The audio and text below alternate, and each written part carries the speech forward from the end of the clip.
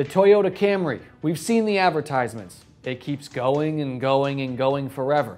But how did their marketing campaign stack up against the five most groundbreaking automotive social media and digital marketing campaigns? That's what we're talking about right now. The Toyota Camry effect, Allen, if you will. So this campaign we think is groundbreaking because it really was sort of an innovative multimedia approach. There was the social part, there was the multimedia part. They used Shazam, they used mobile clients. On paper, this looked like really a cool campaign.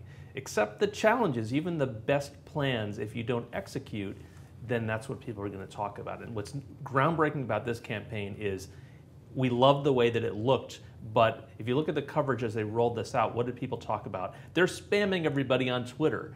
So it's interesting that this is groundbreaking because of the way that they approach it, but it's also groundbreaking as a lesson for people who you got to make sure that you're speaking the language of the channel, making sure that you're you know fitting in with the tone and all it takes is one of these dimensions not really being executed well. In this case, it was Twitter, and people aren't talking about the campaign and how brilliant it was. They're talking about they're spamming us on Twitter, and they're not talking about the car. They're not talking about the vehicle. They're talking about the negative connotations that it now has with it. So you really do have to be careful. And, and on the heels of sort of the reliability issues, remember that you know Toyota's yeah. had sort of some PR issues um, this, I think, was the right approach in terms of having sort of a fresh start. The community side of this, you go to the microsite, there's all sorts of testimonials. I mean, it feels kind of good.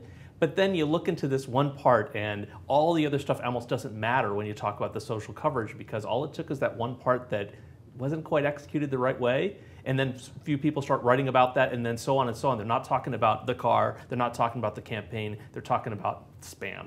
He is Allen Bonde. I am Tyler Pyburn. This is another conversation about the top five most groundbreaking automotive social and digital media marketing campaigns.